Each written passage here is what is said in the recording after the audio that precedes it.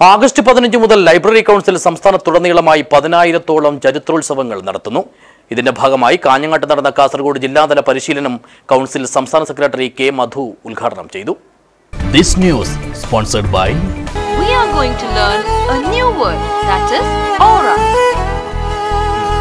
Aura home centre Aura ഓരോ വീടിനും സ്വാതന്ത്ര്യത്തിന്റെ പ്ലാറ്റിനം ജൂബിലി ആഘോഷത്തോടനുബന്ധിച്ചാണ് ലൈബ്രറി കൗൺസിൽ സംസ്ഥാനത്തുടനീളം ചരിത്രോത്സവങ്ങൾ നടത്തുന്നത്. ആഗസ്റ്റ് പതിനഞ്ചിന് തുടങ്ങി പതിനായിരത്തോളം ചരിത്ര സദസ്സുകൾ സംഘടിപ്പിക്കാനാണ് തീരുമാനം. ഇതിന്റെ ഭാഗമായി കാസർഗോഡ് ജില്ലാ ലൈബ്രറി കൗൺസിലിന്റെ ആഭിമുഖ്യത്തിൽ അറുന്നൂറ് ചരിത്ര സദസ്സുകൾ സംഘടിപ്പിക്കും. ഇതിന്റെ മുന്നോടിയായാണ് കാഞ്ഞങ്ങാട്ട് ഏകദിന ജില്ലാതല പരിശീലനം സംഘടിപ്പിച്ചത്.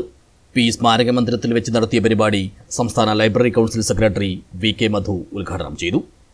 രാജ്യത്തിന്റെ എഴുപത്തിയഞ്ചാം സ്വാതന്ത്ര്യത്തിന്റെ ഭാഗമായി അതിന്റെ വാർഷിക ആഘോഷത്തിന്റെ ഭാഗമാണ്. കേരളത്തിന്റെ ഗ്രന്ഥശാലകളിലായി പതിനായിരത്തോളം വരുന്ന ചരിത്ര സദസ്സുകൾ സംഘടിപ്പിക്കാൻ തീരുമാനിച്ചു കേരളത്തിൽ ലൈബ്രറി കൗൺസിൽ അപ്ഡേറ്റ് ചെയ്തിട്ടുള്ള ലൈബ്രറിയുടെ എണ്ണം ഒൻപതിനായിരത്തി ഇരുന്നൂറ്റി ഏഴ് കഴിഞ്ഞ ഗ്രഡേഷൻ കഴിയുമ്പോൾ ഗ്രഡേഷന് അർഹത നേടിയ താഴെ ചടങ്ങിൽ കൗൺസിൽ ജില്ലാ പ്രസിഡന്റ് കെ വി കുഞ്ഞിരാമൻ അധ്യക്ഷനായി അഡ്വക്കേറ്റ് പി അപ്പുക്കുട്ടൻ സംസാരിച്ചു. എഴുപത്തിയഞ്ച് വർഷത്തെ സ്വതന്ത്ര ഇന്ത്യ എന്ന വിഷയത്തെ അധികരിച്ച് ഡോക്ടർ പി പ്രഭാകരനും സ്വതന്ത്ര ഇന്ത്യയും ഭരണഘടനാ ദർശനവും എന്ന വിഷയത്തെ അധികരിച്ച് ഒ എം ബാലകൃഷ്ണനും പ്രഭാഷണം നടത്തി.